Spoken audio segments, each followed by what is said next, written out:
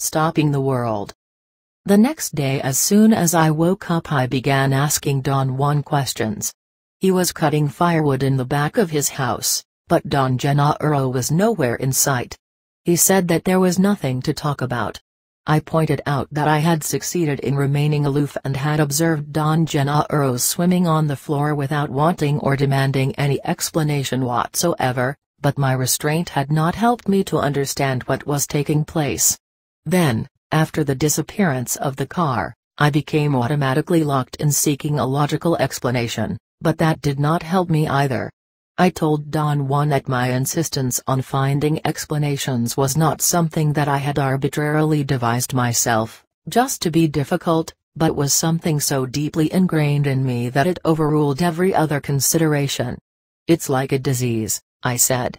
There are no diseases, Don Juan replied calmly. There is only indulging. And you indulge yourself in trying to explain everything.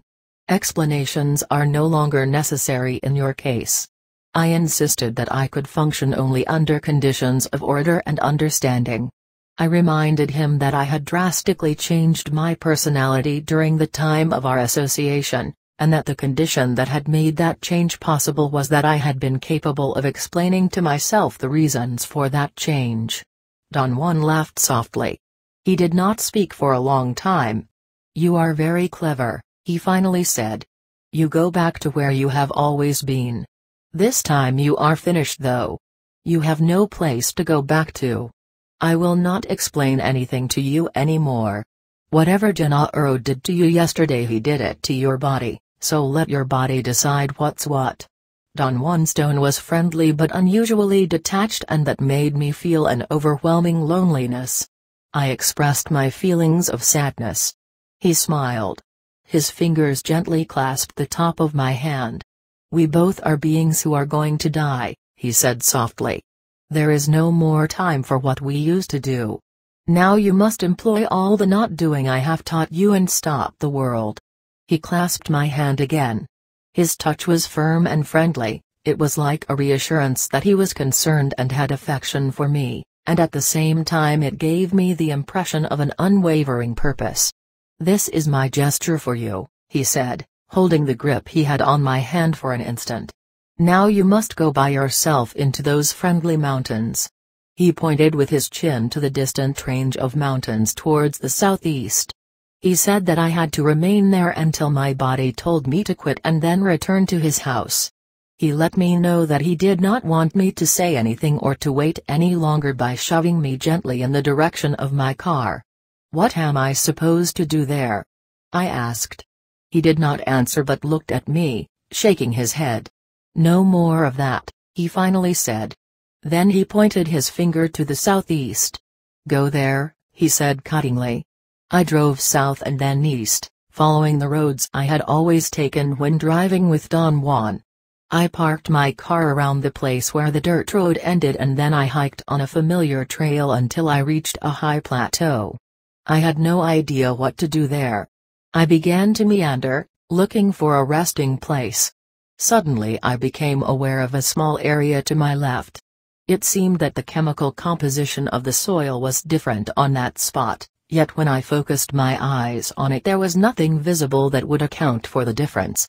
I stood a few feet away and tried to feel as Don Juan had always recommended I should do. I stayed motionless for perhaps an hour.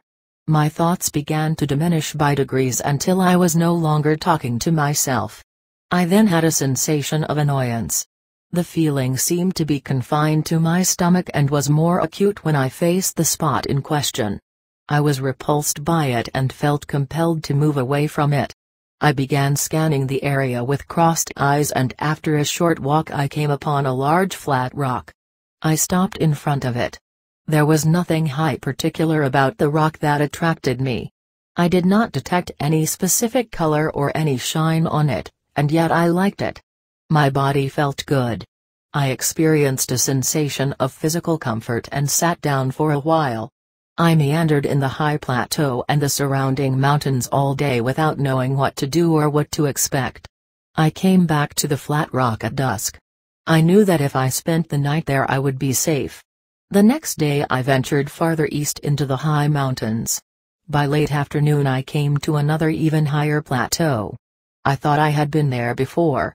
I looked around to orient myself but I could not recognize any of the surrounding peaks. After carefully selecting a suitable place I sat down to rest at the edge of a barren rocky area. I felt very warm and peaceful there. I tried to pour out some food from my gourd, but it was empty. I drank some water. It was warm and stale. I thought that I had nothing else to do but to return to Don Juan's house and began to wonder whether or not I should start on my way back right away. I lay down on my stomach and rested my head on my arm. I felt uneasy and changed positions various times until I found myself facing the west. The sun was already low. My eyes were tired. I looked down at the ground and caught sight of a large black beetle. It came out from behind a small rock, pushing a ball of dung twice its size. I followed its movements for a long time. The insect seemed unconcerned with my presence and kept on pushing its load over rocks, roots, depressions, and protuberances on the ground. For all I knew, the beetle was not aware that I was there. The thought occurred to me that I could not possibly be sure that the insect was not aware of me. That thought triggered a series of rational evaluations about the nature of the insect's world as opposed to mine.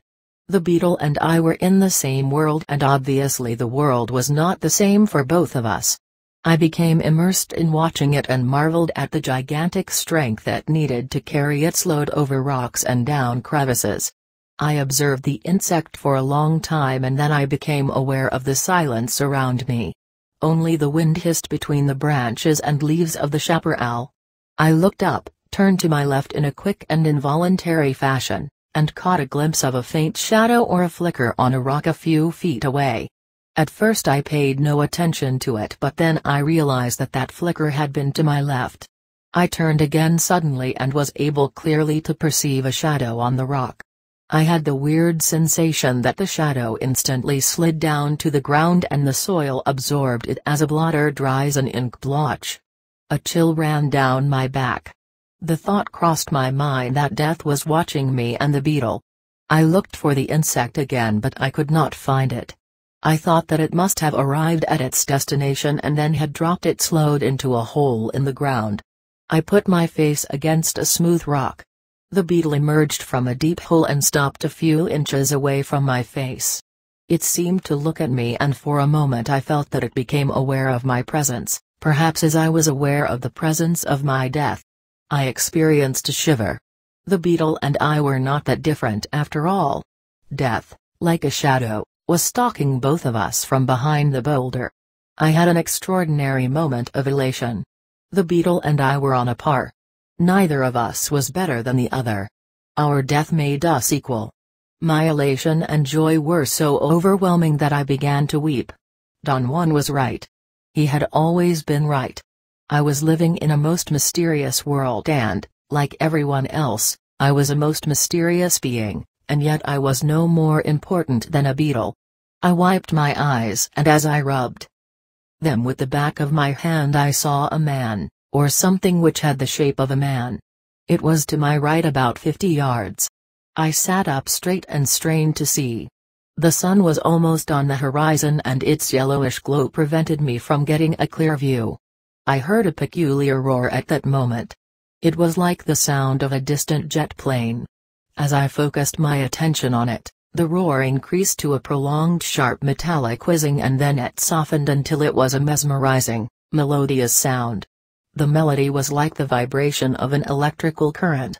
The image that came to my mind was that two electrified spheres were coming together, or two square blocks of electrified metal were rubbing against each other and then coming to rest with a thump when they were perfectly leveled with each other.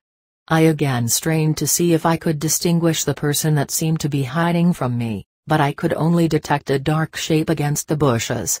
I shielded my eyes by placing my hands above them. The brilliancy of the sunlight changed at that moment and then I realized that what I was seeing was only an optical illusion, a play of shadows and foliage. I moved my eyes away and I saw a coyote calmly trotting across the field. The coyote was around the spot where I thought I had seen the man. It moved about 50 yards in a southerly direction and then it stopped, turned, and began walking towards me. I yelled a couple of times to scare it away, but it kept on coming.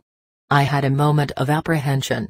I thought that it might be rabid and I even considered gathering some rocks to defend myself in case of an attack.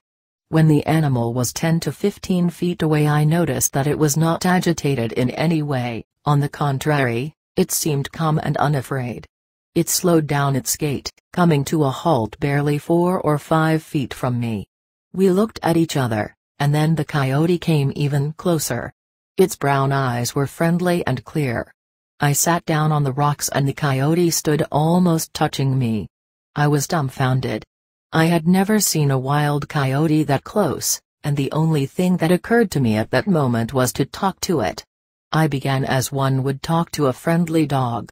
And then I thought that the coyote talked back to me. I had the absolute certainty that it had said something. I felt confused but I did not have time to ponder upon my feelings, because the coyote talked again. It was not that the animal was voicing words the way I am accustomed to hearing words being voiced by human beings, it was rather a feeling that it was talking. But it was not like a feeling that one has when a pet seems to communicate with its master either. The coyote actually said something, it relayed a thought and that communication came out in something quite similar to a sentence. I had said, How are you, little coyote? And I thought I had heard the animal respond, I'm all right, and you? Then the coyote repeated the sentence and I jumped to my feet. The animal did not make a single movement. It was not even startled by my sudden jump. Its eyes were still friendly and clear. It lay down on its stomach and tilted its head and asked, Why are you afraid? I sat down facing it and I carried on the weirdest conversation I had ever had. Finally it asked me what I was doing there and I said I had come there to stop the world. The coyote said, Que bueno. And then I realized that it was a bilingual coyote. The nouns and verbs of its sentences were in English, but the conjunctions and exclamations were in Spanish. The thought crossed my mind that I was in the presence of a Chicano coyote. I began to laugh at the absurdity of it all and I laughed so hard that I became almost hysterical. Then the full weight of the impossibility of what was happening struck me and my mind wobbled. The coyote stood up and our eyes met. I stared fixedly into them. I felt they were pulling me and suddenly the animal became iridescent, it began to glow, it was as if my mind were replaying the memory of another event that had taken place ten years before, when under the influence of peyote I witnessed the metamorphosis of an ordinary dog into an unforgettable iridescent being. It was as though the coyote had triggered the recollection, and the memory of that previous event was summoned and became superimposed on the coyote's shape. The coyote was a fluid, liquid, luminous being. Its luminosity was dazzling, I wanted to cover my eyes with my hands to protect them, but I could not move. The luminous being touched me in some undefined part of myself and my body. Experienced such an exquisite indescribable warmth and well-being that it was as if the touch had made me explode. I became transfixed, I could not feel my feet, or my legs, or any part of my body, yet something was sustaining me erect. I have no idea how long I stayed in that position. In the meantime, the luminous coyote and the hilltop where I stood melted away. I had no thoughts or feelings. Everything had been turned off and I was floating freely. Suddenly I felt that my body had been struck and then it became enveloped by something that kindled me. I became aware then that the sun was shining on me. I could vaguely distinguish a distant range of mountains towards the west. The sun was almost over the horizon. I was looking directly into it and then I saw the lines of the world. I actually perceived the most extraordinary profusion of fluorescent white lines which crisscrossed everything around me. For a moment I thought that I was perhaps experiencing sunlight as it was being refracted by my eyelashes. I blinked and looked again. The lines were constant and were superimposed on or were coming through everything in the surroundings. I turned around and examined an extraordinarily new world.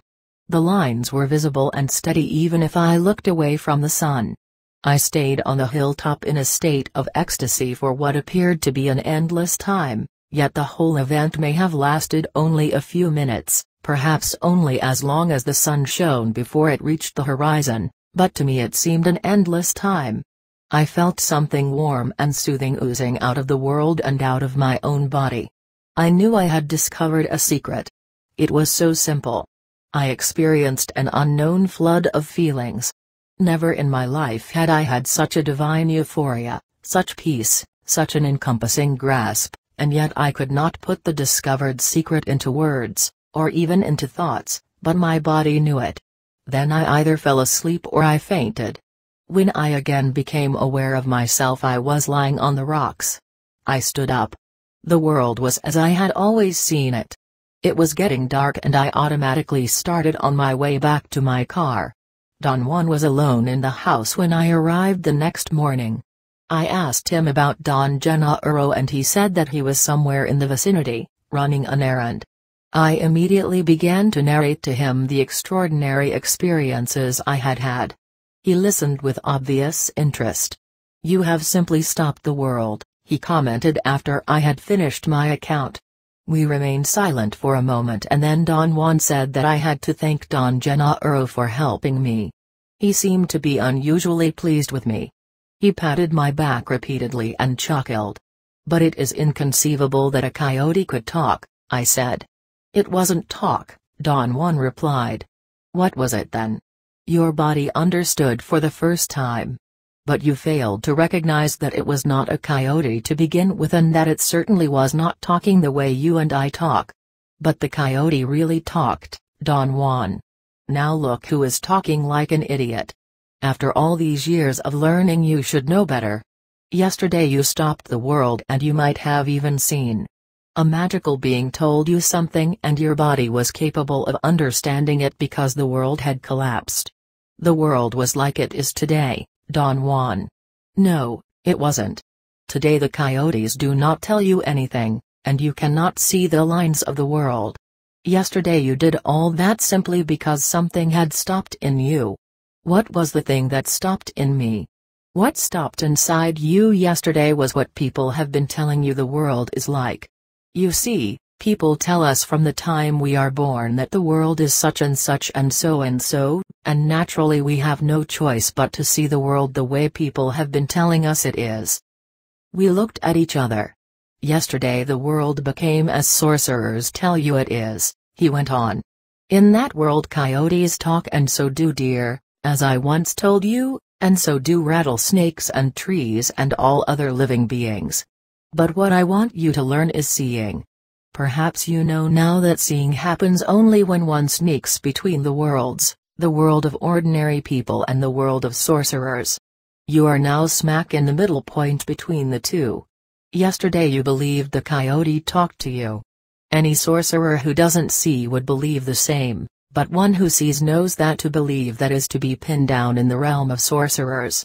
By the same token, not to believe that coyotes talk is to be pinned down in the realm of ordinary men. Do you mean, Don Juan, that neither the world of ordinary men nor the world of sorcerers is real? They are real worlds. They could act upon you. For example, you could have asked that coyote about anything you wanted to know and it would have been compelled to give you an answer. The only sad part is that coyotes are not reliable. They are tricksters. It is your fate not to have a dependable animal companion. Don Juan explained that the coyote was going to be my companion for life and that in the world of sorcerers to have a coyote friend was not a desirable state of affairs. He said that it would have been ideal for me to have talked to a rattlesnake, since they were stupendous companions. If I were you, he added, I would never trust a coyote. But you are different and you may even become a coyote sorcerer. What is a coyote sorcerer? One who draws a lot of things from his coyote brothers. I wanted to keep on asking questions but he made a gesture to stop me. You have seen the lines of the world, he said. You have seen a luminous being. You are now almost ready to meet the ally. Of course you know that the man you saw in the bushes was the ally. You heard its roar like the sound of a jet plane. He'll be waiting for you at the edge of a plain, a plain I will take you to myself. We were quiet for a long time. Don Juan had his hands clasped over his stomach. His thumbs moved almost imperceptibly. Jenna Genaro will also have to go with us to that valley, he said all of a sudden. He is the one who has helped you to stop the world. Don Juan looked at me with piercing eyes. I will tell you one more thing, he said and laughed. It really does matter now. Genaro never moved your car from the world of ordinary men the other day. He simply forced you to look at the world like sorcerers do, and your car was not in that world. Genaro wanted to soften your certainty. His clowning told your body about the absurdity of trying to understand everything. And when he flew his kite you almost saw. You found your car and you were in both worlds. The reason we nearly split our guts laughing was because you really thought you were driving us back from where you thought you had found your car. But how did he force me to see the world as sorcerers do? I was with him. We both know that world. Once one knows that world all one needs to bring it about is to use that extra ring of power I have told you sorcerers have. Genaro can do that as easily as snapping his fingers. He kept you busy turning over rocks in order to distract your thoughts and allow your body to see. I told him that the events of the last three days had done some irreparable damage to my idea of the world. I said that during the ten years I had been associated with him I had never been so moved not even during the times I had ingested psychotropic plants. Power plants are only an aid, Don Juan said. The real thing is when the body realizes that it can see. Only then is one capable of knowing that the world we look at every day is only a description.